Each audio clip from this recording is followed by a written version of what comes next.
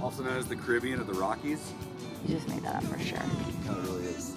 See a bowl for the cat, a bowl for the dog, a bowl for me. Choose my bluest tape and unlock my car.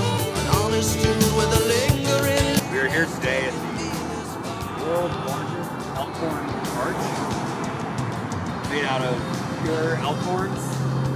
I don't know how many elkhorn arches exist, but The world's largest. is the world's largest.